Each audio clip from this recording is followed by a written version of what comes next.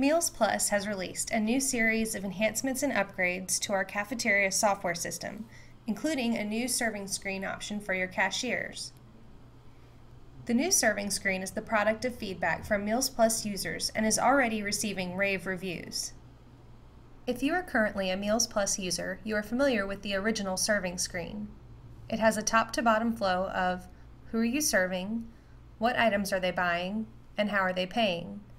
The lunch item grid can be color coded, and the placement of each item is customizable for each cashier.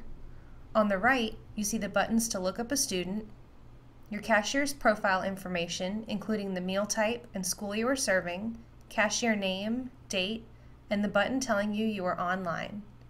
Below that is the information for the student you are serving, including a photo, grade, teacher, serving site, and any special messages associated with that student. On the bottom, you see the buttons to view student meal history and review, clear, or void transactions.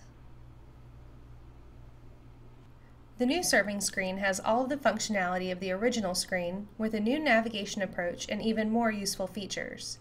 It still has a top to bottom flow of who are you serving, what items are they buying, and how are they paying, but now your item grid can be grouped into categories.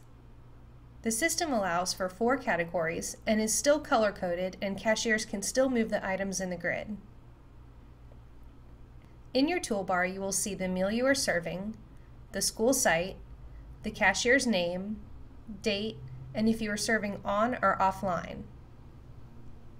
If you use input devices to queue in student IDs, you now not only see the student you are serving, but the next four students you will serve. Students are added to the queue in the order they were inputted, and the student you are serving is at the top and highlighted blue. This image means that a student has been added to the queue. This image means that an invalid student was put into the queue. And this image means that there is a special message associated with that student. When you serve the student with a special message, you will see it under their name at the top middle of your screen. Included in each student cell is their ID number, name, school site number, grade, and teacher's name. Below the student grid is a more detailed payment information grid. Not only do you see the total due, pending balance, amount paid, check number, and change due, but you also see the remaining number of reimbursable meals available to that student, and the available balance on the account from the last transaction completed. The buttons to view the student's meal history and review all of your transactions have been moved here, on the bottom left side of the screen. Another new feature is the meal count box. Here you see the number of reimbursable meals you have served that day.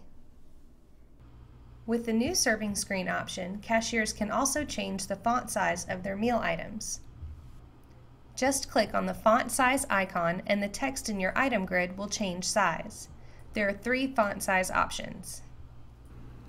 The buttons to turn your receipt printer off or on or clear your transaction have moved to the bottom right. Remember that the new serving screen is optional and is easily managed in the Site Setup section in Meals Plus Point of Sale. If you are a Meals Plus user, contact our support staff today with any questions at 1 800 541 8999.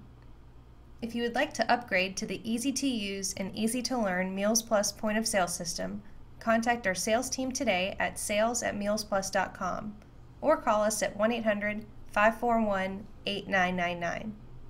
Meals Plus point of sale, we're keeping the lunch line moving.